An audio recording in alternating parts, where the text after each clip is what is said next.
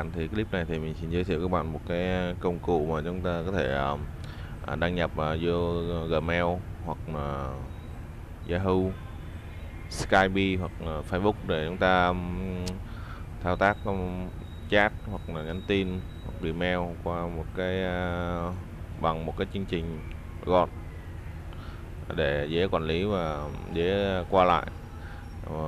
Thì cái chương trình mà mà mình muốn giới thiệu đây nó tên có tên là Frank.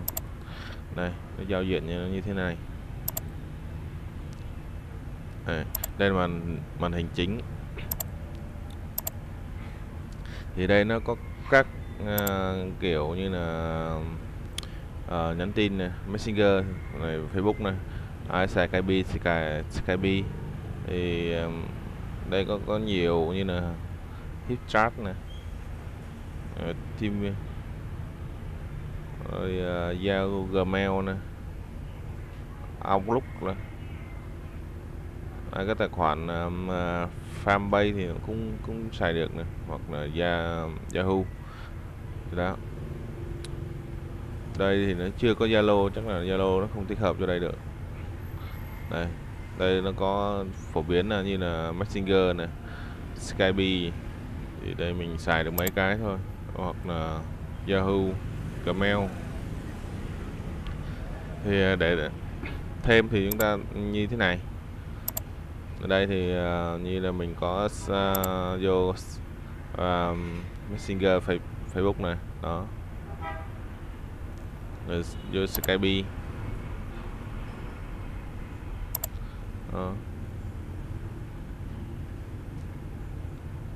đây là toàn tin nhắn thôi hoặc là Yahoo. Uh, mail. Đó. các bạn muốn thêm thì các bạn uh, vô cái uh, về trang chủ uh, vào uh, đây. Thêm dịch vụ này. ví dụ như mình có một cái Gmail nào khác hoặc là cái, cái uh, Yahoo nào khác chúng ta có thể nhấn đúp vô. Chúng ta đánh cái tên đặt cái tên ví dụ tên trên này là, gợi nhớ cho chúng ta trên tên tab này đó. Đánh như đây rồi thêm gmail vô. À, thêm gmail khi mà chúng ta thêm gmail thì nó bắt ờ, vừa đăng nhập mà chúng ta phải biết mật khẩu thì chúng ta có thể vô được.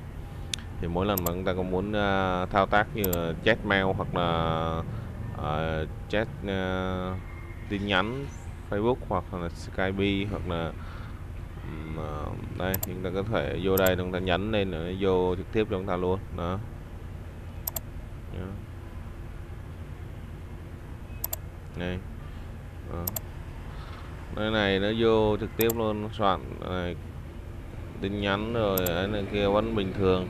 Nó không có bị um, uh, quá chậm so với ờ, mình sử dụng trực tiếp. Nói chung là mình sử dụng thì thấy nó ok không không không có vấn đề gì. Uh, nhanh.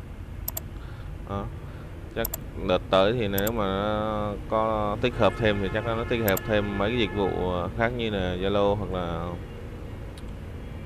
cái gì mình cần thì mình ờ, add vô. À, xin chào các bạn nhé hẹn gặp lại các bạn trong clip sau.